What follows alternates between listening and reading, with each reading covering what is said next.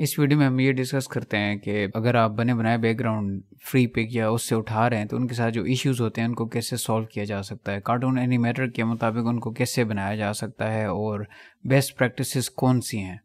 सो so, इसके लिए हम जाते हैं फ्री पिक ये एक वेबसाइट है जहाँ पे आपको बनी बनाया हर चीज़ कैरेक्टर्स एवरीथिंग आपको मिल सकती है। कुछ चीज़ें फ्री होती हैं, कुछ पेड होती हैं। इट्स अप टू यू कि आपका प्रोजेक्ट कैसा है और आपको क्या चीज़ चाहिए। इसका उदयर ये हम फ्री पिक पे आ गए हैं। यहाँ पे हम, यहाँ पे हम सर्च करते हैं कार्टून बैकग्राउंड तो ये देखिए हमारे सामने बहुत सारे बैकग्राउंड आ चुके हैं। तो यहाँ पे बैकग्राउंड की मुख्तलिफ़ किस्में हैं? फॉर एग्जांपल ये वेक्टर्स हैं। वेक्टर्स बहुत आसान लफ्ज़ों में ऐसे ऐसे बैकग्राउंड्स हैं जिनको जितना मर्ज़ी जूम इन करें, उनकी क्वालिटी ख़राब नहीं होगी। और दूसरा है फ़ोटोज़ फ़ोटोज़ जे होती हैं। तो इनकी एक जूम इन करने की एक लिमिटेशन होगी। उससे ज़्यादा जूम इन करेंगे तो वो पिक्सल फट जाएँगे। ये एआई के बने हुए इमेजेस हैं, इनकी भी लिमिटेशन होगी जूम करने की। ये आइकॉन्स हैं, ये छोटे किसी लोगों वगैरह के लिए। ये वीडियोज़ हैं और ये P H Photoshop files Photoshop document P H D से बनता है। और ये फ्री हैं और ये प्रीमियम है। तो अच्छे बैकग्राउंड या तो फोटोशॉप वाले होते हैं, ये भी एम ही होते हैं।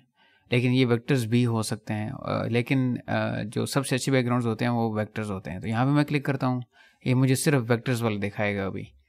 तो ये मेरे पास सारे बैकग्राउंड हैं जिनको मैं इस्तेमाल कर सकता हूँ। कोई भी बैकग्राउंड चूज़ कर सकते हैं हम रेंडमली ये जो ऑप्शन नज़र आ रहा है यहाँ पे, इसका मतलब है ये प्रीमियम अगर आपने इसको परचेस किया हुआ है ओनली देन आप डाउनलोड कर सकते हैं। ये जो है, ये सारे फ्री हैं, इनको मैं डाउनलोड कर सकता हूँ। लेकिन ये जो इसके ऊपर इस तरह का निशान है, इसका मतलब ये पेड है। ये आप डाउनलोड फ्री नहीं कर सकते। अगेन दिस इज़ प्रीमियम ये सारे फ्री हैं। लेट से मैं इसको जो है डाउनलोड कर लेता हूँ। यहाँ पे क्लिक करता हूँ।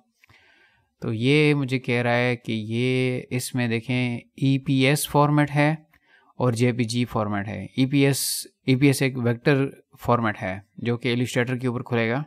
इसको आप डाउनलोड कर सकते हैं यहाँ से। यहाँ पे मैं फ्री डाउनलोड के ऊपर क्लिक कर लूँगा। ये डाउनलोड होना शुरू हो गया है। ये जिप फ़ाइल होती है बिकॉज़ इसमें ई पी एस भी है और जे पी जी भी है। दोनों फाइल्स एक फोल्डर के अंदर डाउनलोड हो रही हैं। इनको खोलने के लिए मुझे विनरार चाहिए होगा, जो कि आसानी से मिल जाता है आपको, या सेवन जेप आप इस्तेमाल कर सकते हैं। तो ये टाइम ले रहा है थोड़ा सा ये हमारा डाउनलोड हो चुका है। अभी हम इसमें जाते हैं जहाँ पे ये डाउनलोड हुआ है। इसके ऊपर राइट क्लिक करके मैंने विनरार में जा एक्सट्रैक्ट टू इसके ऊपर क्लिक कर देना है। तो ये इसको एक फोल्डर के अंदर यहाँ पे एक्सट्रैक्ट कर देगा। ये इसने यहाँ पे एक्सट्रैक्ट कर दिया है। इसके अंदर मुझे दो फाइलें मिलेंगी। एक तो है J P G J P G तो जस्ट इमेज होता है। ये जे पी जी है। आप इसको भी एज अ बैकग्राउंड इमेज के तौर पे इस्तेमाल कर सकते हैं। तो लेट्स से कि इसको हम कैसे इस्तेमाल कर सकते हैं?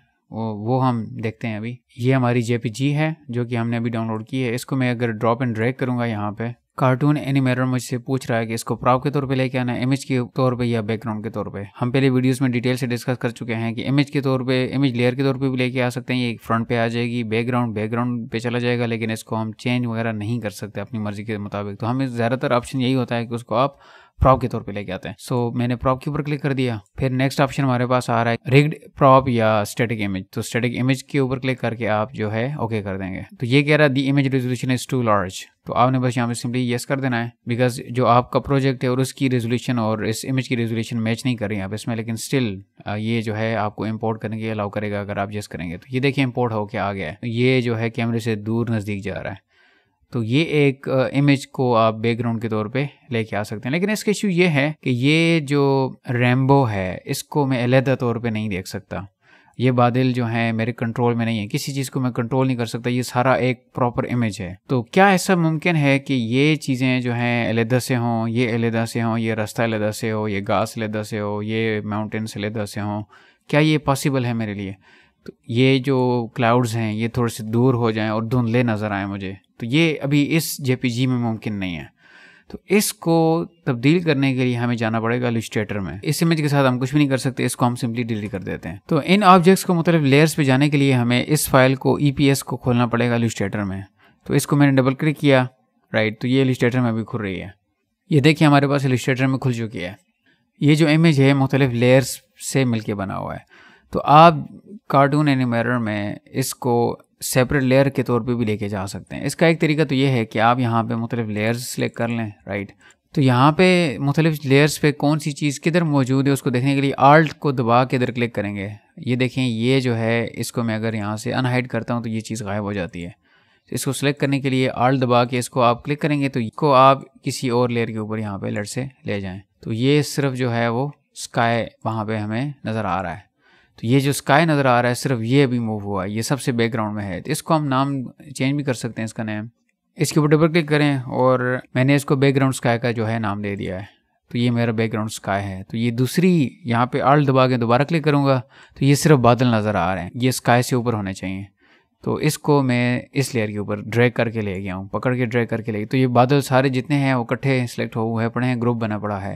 तो ये सारे इस लेयर को डबल क्लिक करके यहाँ पे मैं इसको कर देता हूँ क्लाउड्स तो ये सारे क्लाउड्स इस लेयर पे आ गए आल दबा के दोबारा मैं क्लिक करता हूँ तो ये जो है रेम्बो है। रेम्बो जो है इन क्लाउड से भी आगे होनी चाहिए।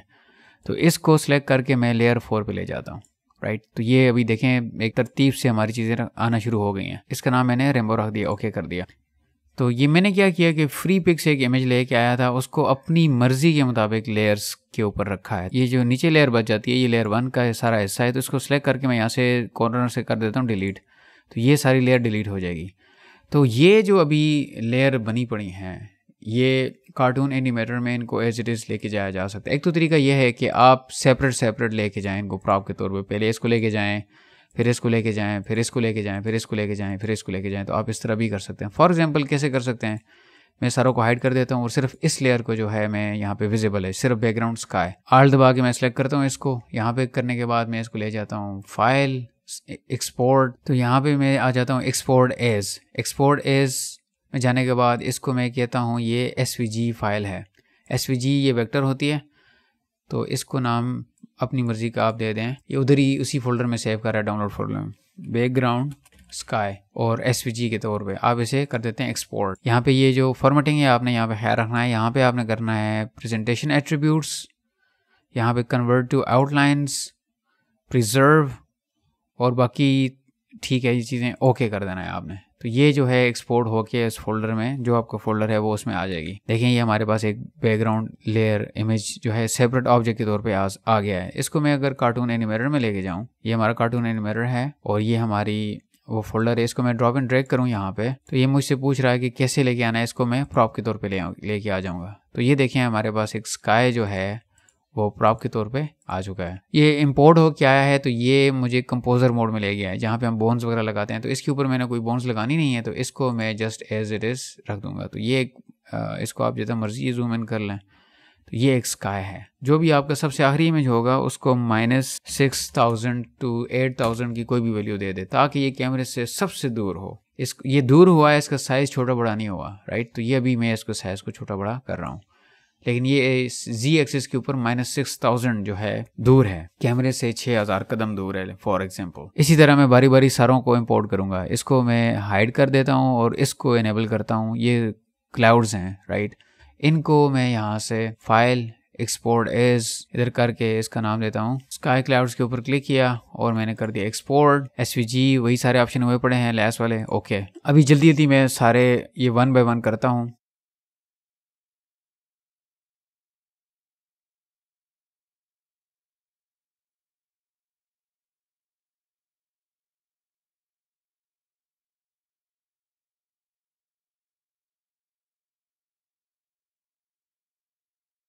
ये मैंने वन बाय वन सारे जो है आपके सामने अभी क्या कर दिए एक्सपोर्ट कर दिए अभी इनको बारी बारी मैं कार्टून एनिमेटर में लेके जाता हूँ। ये मेरे जो है कार्टून एनिमेटर खुल गया है और यहाँ पे बैकग्राउंड में ऑलरेडी लेके जा चुका हूँ। ये स्काई क्लाउड्स हैं, इनको मैं खाली जगह पे आगे ड्रॉप करूँगा। ये मुझसे फिर पूछेगा कि सीन के तौर पे लेके आना या प्रॉप प्रॉप के तौर पे। तो ये देखें, ये फिर कंपोजर मोड में चला गया है, मैं दोबारा बैग चला जाता हूँ यहाँ पे राइट तो ये यहाँ पे इसको सिलेक्ट नहीं हो पा रहा तो यहाँ से आप सिलेक्ट करेंगे, ठीक है? तो इसको सिलेक्ट करके आप इसको इस तरह बड़ा कर सकते हैं। तो ये हमारे पास ये क्लाउड्स आ गए।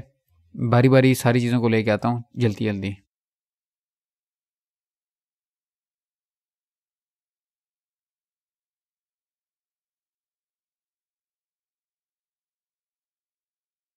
बारी बारी हम सारी प्रॉप्स को लेके आ चुके हैं। इसको अपनी सीन के मुताबिक हम छोटा बड़ा कर सकते हैं। ये हमारा फोरग्राउंड है। वही नेम जो आपने वहाँ पे रखे थे, यहाँ पे वो विजिबल हैं। तो ये हमारे बैकग्राउंड क्लाउड्स हैं और ये हमारे स्काई के ऊपर जो क्लाउड्स मौजूद थे, इनको भी थोड़ा बड़ा कर लेते हैं। और देन हमारी ये रेम्बो है, इसको भी सिलेक्ट करके हम अपनी मर्ज़ी के मुताबिक छोटा बड़ा कर सकते हैं। तो ये हमारा एक सीन बन चुका है। तो इस तरीके से आज हमने देखा कि किस तरह आप बनी बनाई चीज़ों को, जो कि एक ही फ़ाइल होती है जेपीजी में आप इस तरह की लेयर्स नहीं बना सकते। राइट जेपीजी में आप इस तरह की लेयर्स नहीं बना सकते। अगर आप उसको जेपीजी के तौर पे आप लेके आ जाएँगे तो ये लेयर्स इस तरह नहीं रहेंगी। वो एक ही इमेज होगा, उसको आप सिर्फ़ एक इमेज को आप छोटा बड़ा कर सकते हैं। लेकिन अगर वो वेक्टर फ़ाइल है या फोटोशॉप की फ़ाइल है, उसको लेदे लेदे एक्सपोर्ट करके आप एस के फॉर्मेट में लेके आ सकते हैं और उनको फिर अपनी मर्ज़ी के मुताबिक डेप्थ जितनी देनी हो आप उसको दे सकते हैं। एक लेट से मैं इसको थोड़ी सी रियलिस्टिक लुक देता हूँ तो ये जो मेरी लेयर है, ये थोड़ी सी ब्लर होनी चाहिए बिकॉज़ ये कैमरे से बहुत ज़्यादा दूर है। और नेचुरल यही होता है कि कैमरे से जो, हमारी आँखों से जो चीज़ दूर होती है तो वो थोड़ी सी ब्लर हो जाती है। तो ब्लर के लिए ओपेसिटी का हमारे पास ऑप्शन होता है। इसकी ओपेसिटी जो है, वो थोड़ी सी आप कम कर दें। और ये जो बैकग्राउंड पे नज़र आ रहे हैं क्लाउड्स राइट तो ये जो है, इसकी भी ओपेसिटी आप थोड़ी सी कम कर दें राइट ये जो है ओपेक हो गया। और रेम्बो जो है, ये जी एक्सिस में इन बैकग्राउंड के क्लाउड से थोड़ी सी आगे होनी चाहिए। तो ये देखें जी एक्सिस की वैल्यूज़ चेंज करने से ये आगे आ गई है। इसको भी आप अगर थोड़ा सा ब्लर करना चाहते हैं, ये भी बैकग्राउंड पे होती है। तो आप इसको भी थोड़ा सा इस तरह ब्लर कर सकते हैं। तो बहरहाल इस वीडियो का मेन पर्पज़ यही था कि आप बैकग्राउंड जेपीजी बैकग्राउंड का क्या इशू है? और अगर आपने वेक्टर फ़ाइल उठाई है किसी जगह से या ख़ुद बनाई है तो आप मुख्तलिफ़ लेयर्स पे हर चीज़ की एक लेयर बनेगी और जितनी लेयर्स बनेगी वो लेयर्स यहाँ पे आ जाएँगी सेपरेट प्रॉप्स के तौर पे। आप उनको आसानी से जो है वो दूर, नज़दीक छोटा बड़ा कर सकते हैं विदाउट कंप्रोमाइजिंग द क्वालिटी तो इस वीडियो में हमने ये देखा कि आप बनी बनाई चीज़ों को जो कि वेक्टीजी या आप फ्री पिक से उठाते हैं, उसको किस तरह एडिट कर सकते हैं। इस वीडियो में हमने इनको वन बाय वन लेके आए हैं, जो कि एक काफ़ी मुश्किल काम है। क्या ऐसा मुमकिन है कि हम एक ही दफ़ा सारी लेयर्स वहाँ पे डिफ़ाइन कर लें और उनको जो है कार्टून एनिमेटर में इकट्ठा लेके आ जाएँ ताकि हमें वन बाय वन एक्सपोर्ट ना करनी पड़े? क्या ऐसा मुमकिन है? तो नेक्स्ट वीडियो में हम देखते हैं कि ऐसा कैसे हो सकता है। आपको हमारे चैनल पे मुख्तलिफ़ किस्म की प्ले मिलेगी कार्टून एनिमेटर के हवाले से। आप यहाँ पे क्लिक करेंगे तो ये जो प्लेलिस्ट है very short tips and tricks इसमें सारी वो चीज़ें होंगी जो आपके कॉन्सेप्ट क्लियर करेंगी। छोटी छोटी एक चीज़ के बारे में कॉन्सेप्ट है। और दूसरी हमारी जो मेन प्लेलिस्ट है, इसमें डिटेल से किसी एक टॉपिक को लेके मुकम्मल वीडियो है। इन वीडियोस को साथ साथ देखते हुए आपने इस छोटी वाली वीडियोस को भी देखना है ताकि आपके कॉन्सेप्ट क्लियर हों। चैनल को सब्सक्राइब करें। अगर आपको कोई इशू आ रहे हैं एनिमेशन करने में तो फेसबुक का लिंक भी मौजूद है ग्रुप का। आप उस ग्रुप को ज्वाइन करें। वहाँ पे आप इश्यूज़ को डिस्कस कर सकते हैं और आपके हर इशू के ऊपर मैं एक छोटी सी वीडियो इस तरह बना दिया करूँगा। मिलते हैं एक और वीडियो में. See you in the next video